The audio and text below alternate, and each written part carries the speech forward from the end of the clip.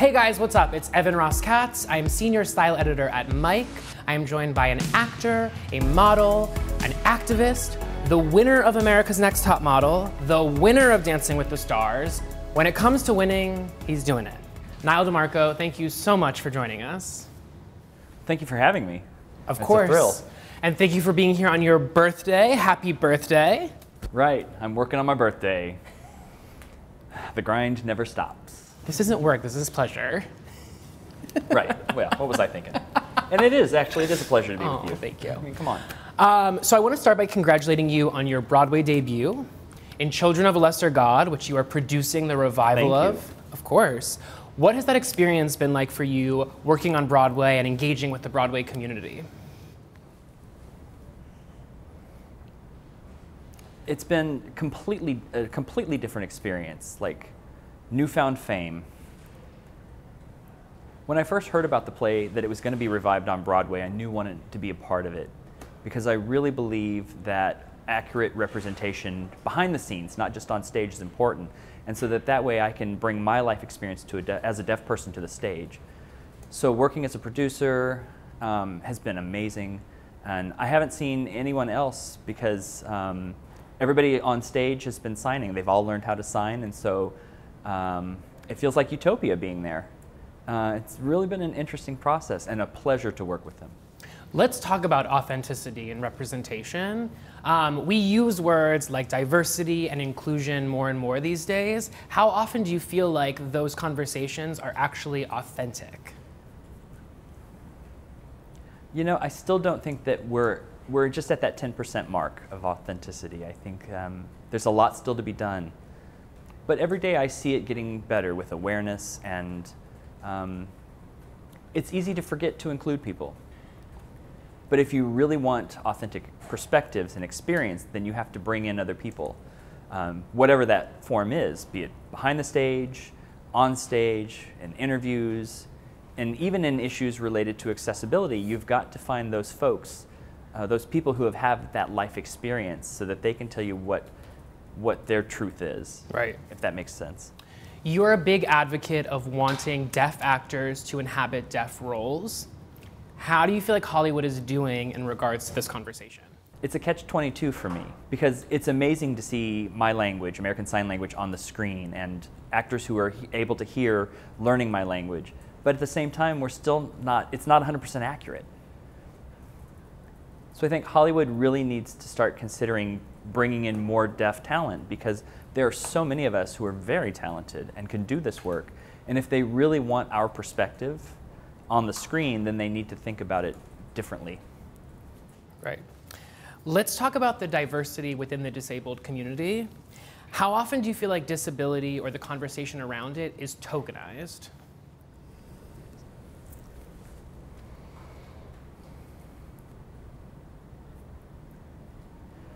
You know, I hate to say it, but most of the time. People like to tokenize just to meet expectations. And even sometimes people point at me and ask me for my opinion on disability issues in general, not related to being deaf, um, which is another, that's a different disability that doesn't represent me, so I can't speak on anyone else's behalf.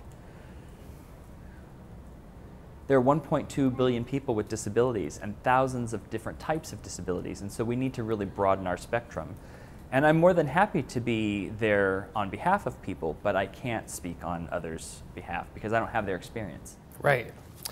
I want to read a statistic. Uh, the 2016 Annenberg Foundation study found that most characters with disabilities in film are white men and almost none are LGBTQ. Again, looking and questioning Hollywood, do you think Hollywood is doing enough to address this concern? Right. Um, I don't think they're doing enough. But when I first came into the offices and started talking about all of these different ideas, I realized they don't get my experience.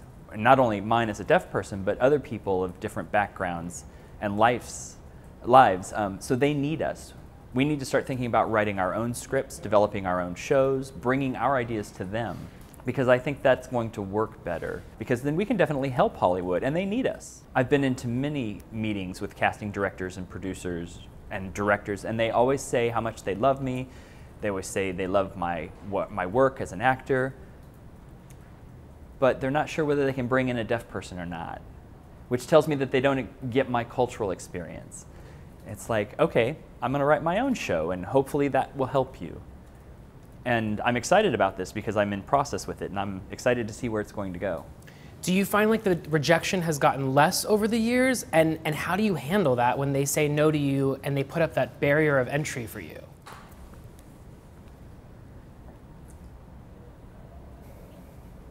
Yeah, obviously it's a resentment. Um, it's frustrating. This is not an easy industry to be in, and oftentimes it's just like, maybe I'm just going to go back to grad school and get a degree in education and start teaching. But what I've realized is it takes patience trying to work with them, trying to give them ideas, because really they're lost. They don't have any idea what my perspective is, and so they need my help. They need us. And really, I see change every day in my community with the platform that I have. And so um, I, I, can't lose this opportunity. I need this to continue to change lives and to change the entertainment industry.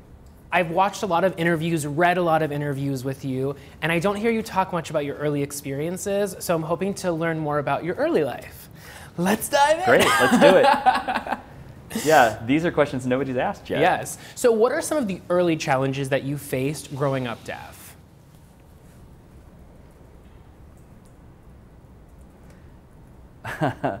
That's a really good question. Um, okay, so let me just give you a little bit of background first. I grew up in Utopia. I'm deaf. I was born to a deaf family. Both of my brothers, my parents, my grandparents, going back four generations, are deaf. So my life was perfect. I grew up going to a deaf school, so I never had any problems at all with communication or access or anything like that. So my earliest memory about a challenge would be probably in fifth grade when I told my mom that I wanted to go to the public school and be mainstreamed. Now understand, I was the only deaf kid in this entire school. And my mom thought I was nuts, but she let me do it. And I enjoyed it a lot, I learned a lot, but it was a really lonely time for me because my peers could all hear, they didn't know my language, they didn't learn my language, the teacher didn't understand me well, the interpreter I had who I was getting all my information through wasn't great. And so it was a challenge. And after two weeks, I told my mom that I was I quit. I'm done. And she said, "Nope, you get to stay, kid." And so I did. I finished the year. But then after that, I went back to the deaf school full, full time. But that was my challenge, realizing that I am deaf, and you have to embrace who you are. Right. And you know, you mentioned that you went to this school, the Maryland School for the Deaf. What was that experience like of meeting other young deaf kids and relating to them?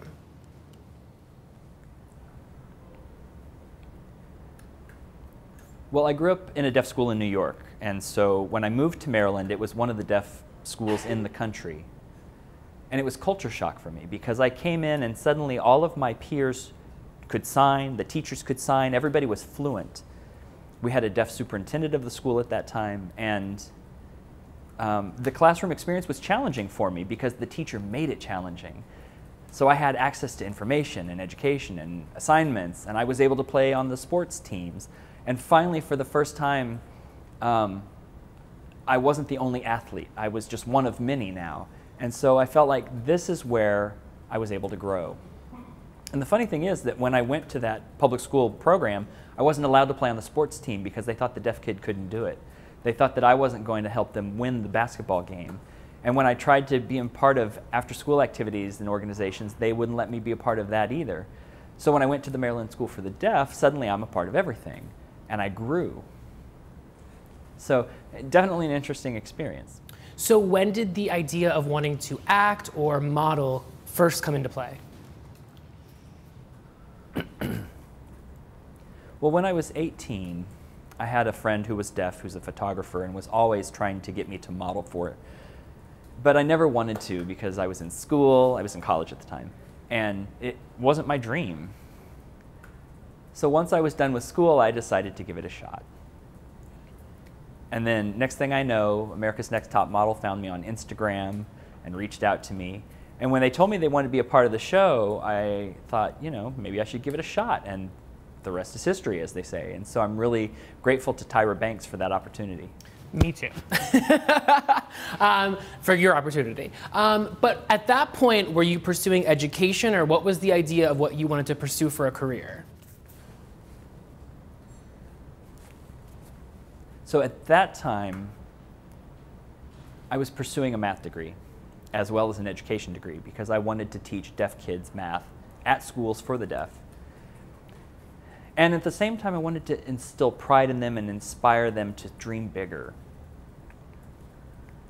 And so when Top Model reached out to me,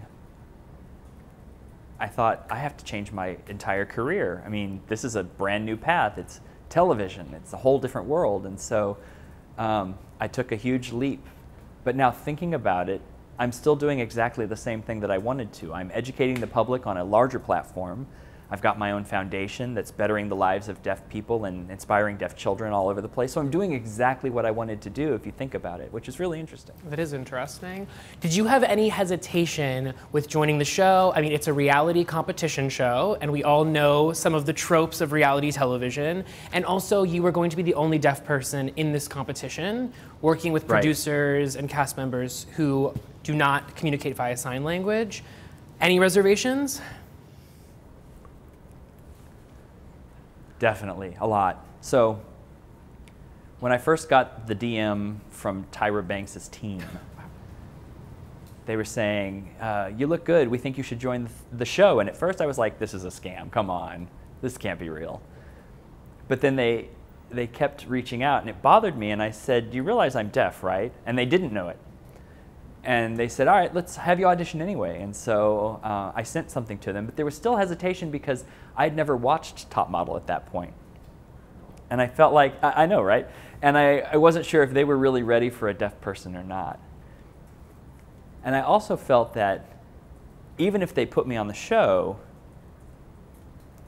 there's, that's still a win in and of itself. Mm. I thought, they're never going to let me win this whole thing, so what's the point? But I was really curious about it. So I went ahead and did it. And in hindsight, I'm glad I did. But another thing I didn't realize that I was going to be language deprived for the next three months. I figured that the other cast members would learn how to sign, that they would include me, that I would just be part of the house. But that's not what happened. And so it was a really, really difficult experience for me. And, and if I could do it again, I probably I wouldn't. I just wouldn't. It was too difficult. Wow. So did they make any efforts to communicate with you, or what was that period like? I mean, three months is a long time. Three months is long enough for the cast to be at least halfway fluent yeah. in daily communication because I could have taught them. But they didn't make the effort. And they just didn't care because they were out to win it. Well, they wanted that 100,000. Well, you won it. So I want to talk about Dancing with the Stars next, because Dancing with the Stars is a much larger platform in terms of viewership. What I loved about your time on Dancing with the Stars was watching you in rehearsal and getting to see a funnier side of you.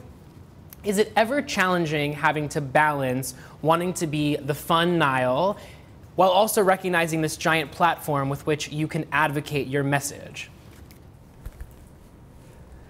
Definitely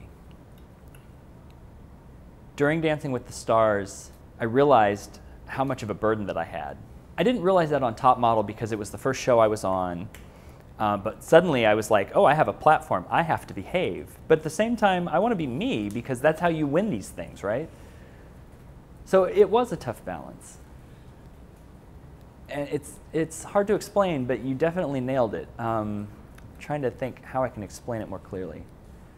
Um, well, and also at that time, I wasn't a, a, dancer. I hadn't danced in my life, and so I wanted to contribute to that too, invest in that part of it. And so I worked twice as hard every day, the, double the number of hours as the other ones, trying to juggle the, the balance between the actual dancing and being Nyle, um, as well as representing the deaf community. So it, there was a lot going on. On that, do you ever feel like there's a seriousness seriousness with which people approach you, whether it be in interviews or what have you, sort of, you know, you and I have talked about this, sort of a humorlessness about the way people engage with deaf people? Most of the time during an interview, like let's say either Top Model or Dancing with the Stars, you know, they pull you off and they ask questions. And they always ask, what's hard about being deaf? Did you have struggles in school? Did people bully you? And I'm like, no, my life was perfect. Are you kidding me? I went to a deaf school. I come from a deaf family. I never had barriers. I had access to language, I had access to love, communication, I had everything. And they're like, oh no, being deaf must be so difficult. And I'm like, no, you got me on the show because you wanted to see me cry? Is that why I'm here? Because that's not going to happen. Um, I had a beautiful life. I had a great time of things. And so that comes up. Yeah. Why do you think there's this expectation, or, or rather, why do you think people approach these interviews so seriously?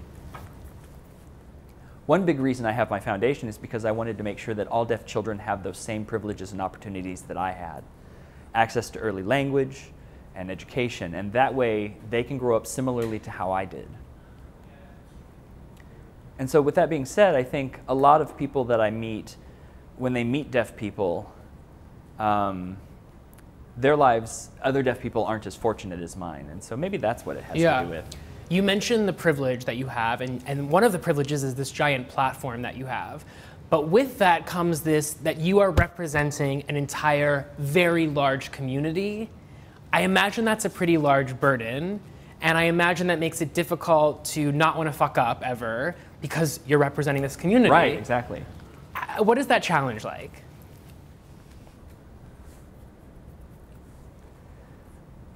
Well, so growing up in the deaf community, I was in this little box, I guess, and I have I've moved out of that. But I've realized that there are a lot of different types of deaf people. For example, some deaf people can talk and don't know American Sign Language. Um, some can't talk and know, and know American Sign Language. Some have cochlear implants or other sorts of aids. And that was tough trying to figure out how I can speak on everyone's behalf because obviously I can't. They have different experiences from mine. But I've found my niche um, and that's what the foundation is. It's, it's about language access, which is the most important thing. Whatever, regardless of what other experiences you have, if you're happy, I'm happy. Um, so yeah. You came out as sexually fluid in 2015. This is a term that many, especially those outside of our community, are not incredibly familiar with. So, how do you define sexual fluidity? I really wanted to know.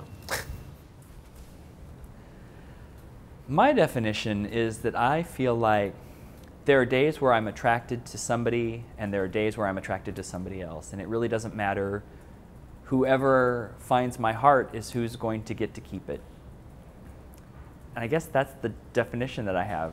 Growing up in the deaf community, there are a lot in the younger generation, like me, never felt like they needed to label themselves because none of us cared. It, we're such a small number, and there's so much diversity about it. Um, the only thing that matters is really being deaf, and all the other stuff is fine.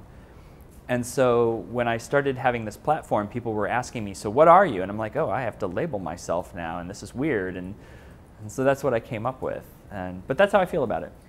Was it challenging having to come out publicly? I imagine that's not something that one anticipates that comes with this fame, and yet people want to know. Yeah, it's a huge challenge. I've advocated a lot for the LGBTQ community, but at the same time, um, I don't want to give my all there because the deaf community is what needs me more. They don't have a spokesperson, um, or they haven't in a long time. I mean, they've got Marlee Matlin, and she's still in the public eye, but the LGBTQ community has a lot more people speaking on its behalf. And so while it gets my attention, most of my efforts and, and, and contribution is to the deaf community. And so that's a tough pull to have to balance and, and to manage and sometimes they overlap.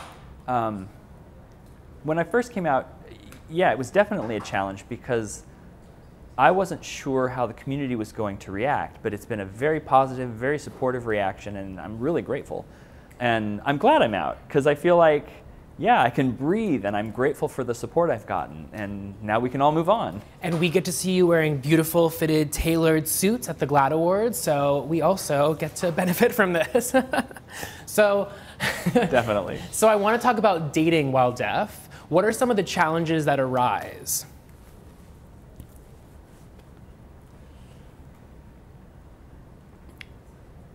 Well, I always dated deaf people growing up. I've never dated somebody who could hear. But now, uh, with my career, I'm around people who can hear a lot. And so I wouldn't mind dating somebody who could hear. But one tough thing is that um, if they don't know my language, it's like, you know, we can date, but suddenly I'm teaching them a new language while they're also learning about that. And so falling in love and learning a new language, it's really interesting. Um, but I think that's probably the toughest part. How important is it that someone that you date be willing to learn sign language? I imagine that, you know, you mentioned the top model cast, three months not even engaging with learning the language. How quickly do you sort of say no to someone when you realize that they have no interest in speaking your language? If on the first date, in the first five minutes, they would say something about not wanting to learn sign language, I'm out the door. See ya. Because I don't want to waste my time. I don't want to try and communicate or have to pull in an interpreter with me all the time on a date. No thanks. Right. My interpreters have a life too. so let's talk for a minute about technology. How has technology and the internet specifically changed or affected your experience? I love that question. So let me make an analogy here. When I was a little kid, or, or let's say before I was born, my parents and grandparents didn't have a lot of technology. In some ways, it was easier being deaf, but it wasn't as easy as it is today. And I'll give you an example. If you wanted to go visit a friend's house and they're deaf, obviously back then there wasn't technology to make phone call. And so you had to walk or drive over to their house, ring the doorbell, and if they're not home, then you would write a little note and leave it to say that you were there and we'll stop back by tomorrow. And if, they, if you come back tomorrow and they're still not there, it's this, it's this weird dance. But today we would just text somebody. And not only can we text or call or FaceTime or iMessage them, we can also reach out to 911 via texting. I mean, there's so much technology, it feels like it's a lot easier to be deaf now. And with my career, I'm able to communicate with anybody just texting on my phone. And so uh, sometimes I forget that I'm deaf, you know? Right it's a blessing the technology is that we have. And let's talk about social media, which is the component of this technology. You know, you got your right. role on Top Model because of social media, better connect with your fans and also with your advocacy, because I feel like you use social media a lot. Oh yeah, definitely, definitely. I see social media as a way to bring awareness in a quick manner.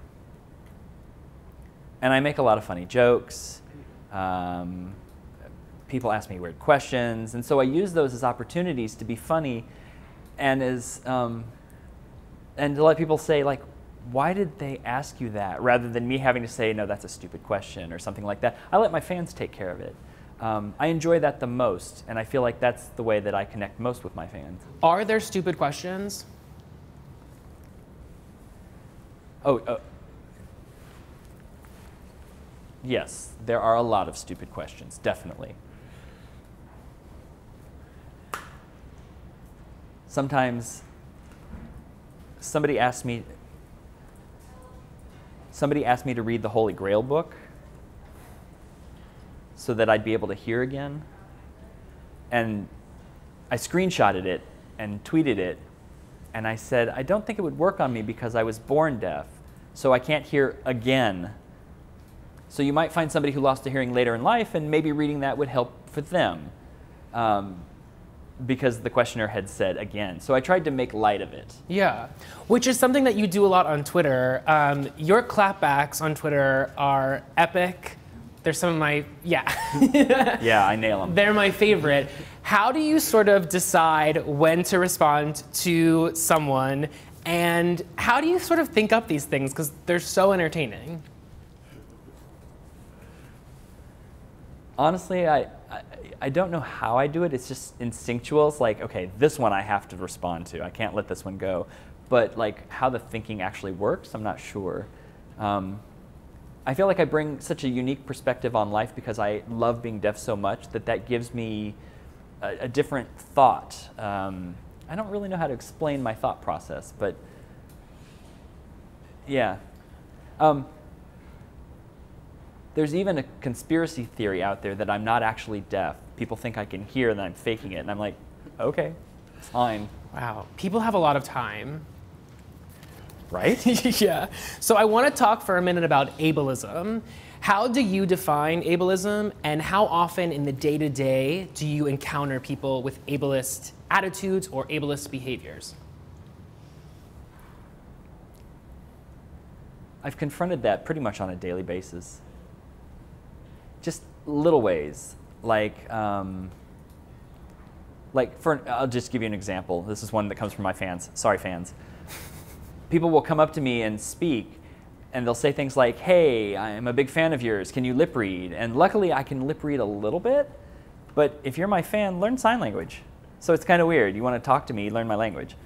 Um, during work, yeah, a lot of times people make decisions without me being a part of it, without even asking. And um, like, let's say at a photo shoot, they make decisions about what they want to do and everything, but they have forgotten about me, and I'm the model, and so I should be the lead in this, or at least have a say in it. So it's that type of ableist thinking that um, I don't, because I don't communicate in their language, they make decisions without consulting me. Let's talk about the fashion industry for which you and I are both a part. Um, I want to start with some numbers.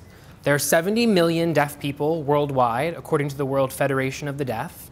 Over 1 billion people worldwide with some form of disability, according to the World Bank. And according to the business of fashion, the disabled community has a spending power of more than $1 trillion. So it seems like there's a lot of opportunities for the fashion industry to engage with the disabled community. And yet, do you think that this industry, our industry, is doing enough to engage with the disabled community? I don't think they're doing enough. I think they're scared. Obviously, they want things to sell, right? But I think they forget that disability groups are the largest minority. It's like 1.2 billion people in the world or something. And so they need to realize, well, they need to be bold and bring in people with disabilities. And I guarantee you that they would get support. There would be a groundswell um, if we got those two communities together. And I don't think that they haven't tried that yet. Like, for example, I'm a model, I'm part of the fashion industry, but I still have that problem. There are big campaigns out there who are afraid to hire me because I'm deaf, no matter how I reassure them. And so it seems like it's a work in progress, and I'm not really sure how we can solve this problem. What about your experience in the beginning of your modeling days until now? Do you see there being granular progress? Yeah, definitely. I remember the beginning days of my modeling career. I was working with photographers who I would meet, and it was often the deer in headlights response but I always make an effort. I text, communicate with them via my phone, gesture, and they would always realize how easy it was. And they would say things like, oh, that wasn't that hard. And I'm like, no, it's not that hard. But at this point in my career, photographers that I work with, it really goes smoothly because I think there is more awareness out there. And I've already proven myself. And so they know what they're doing, they know that I know what I'm doing, and it just works. Absolutely. In a recent Business of Fashion podcast, disabled activist Sinead Burke talked about the importance of empathy versus sympathy and how empathy is what really creates real understanding. I'm wondering what your take on that is.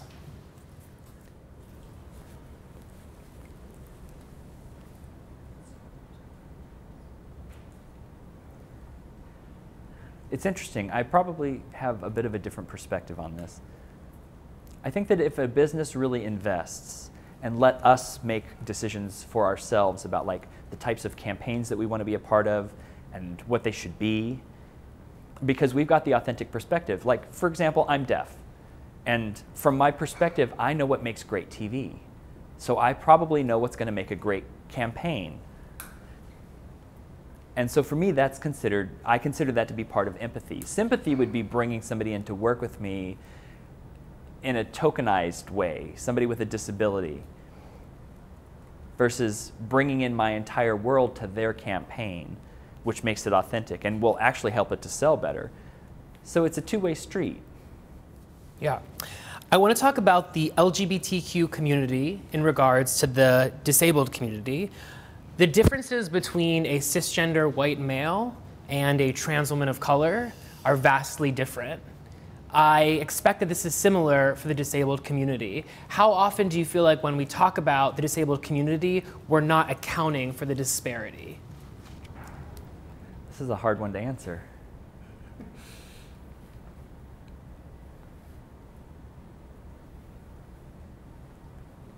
So I want to make sure that I, the question is about bringing in all sorts of different disabilities together, right? Right. I feel like so often when we talk about the community, um, there are many people of many different experiences, and I think oftentimes people tend to think about just certain sets. Right, definitely.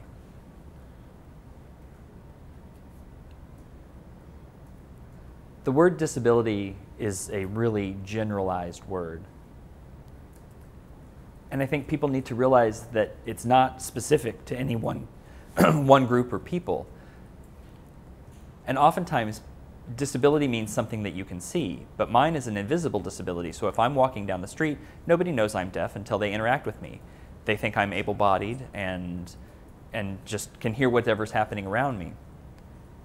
But there are a lot of people with disabilities who have invisible disabilities. And so that's what I'm trying to educate people about, that there's a lot more to it than just what you can see. And at the same time, if we're talking about deaf people being included in the disability community, the difference is that we have different needs from the rest of the community because we have our own language that's different from spoken English. So it's, it's hard to explain. So if I had a Venn diagram, it would make it a lot easier.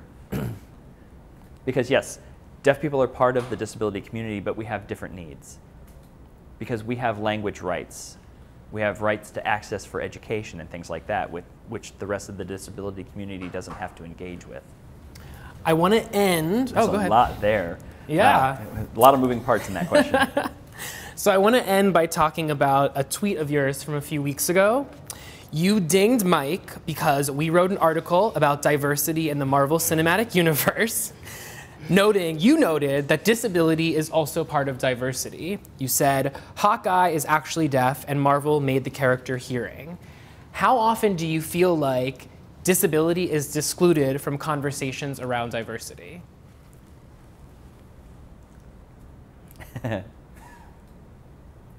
well, first of all, uh, I'm glad I dinged you because that got me an interview, right? yeah. No, I would have had you either way. Great.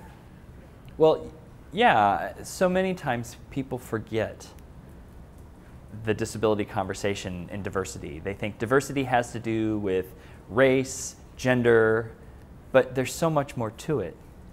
We are part of diversity as people with disabilities. And the danger is that we get excluded. And so I want th that to be a part of the conversation. In the comics, Hawkeye, and I, I don't remember there are a couple of issues where specifically Hawkeye is deaf. And so they brought in an actor who can hear instead. And so how do I say it? I, I, think it would have made a better movie and, and better TV if they'd actually brought in a deaf person to play a deaf Hawkeye. And I mean, no offense. Um, Hawkeye in the Avengers is boring. a lot of people don't even like him. I'm sorry. I'm a big fan of his work, but let's have a deaf actor in there instead. Why not? I agree. Would you consider playing the role if you were asked? If they asked me, I would absolutely consider it. Okay. Um, I'd probably have to dye my hair a lighter color, but yeah, I'm in. That's easy. Um, before I let you go, we have a little surprise for you. As we mentioned, it is your birthday, so we have a little cake for you on your birthday. Awesome. Um, I want to thank you so much for joining us. We're going to sign out now because we are going to devour this cake. But Nyle, thank you so much for joining us, for educating us, and thank you for all the work you do for the for many communities. Well, thank you for having me. It's been you've asked a lot of great and tough questions, but I feel good about it. Thanks. Thank you. Cool. Thanks, guys.